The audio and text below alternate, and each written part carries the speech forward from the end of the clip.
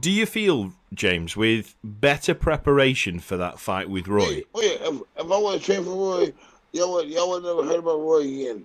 Because Right. I, it's my fault. I, I I don't blame no I don't blame nobody but me.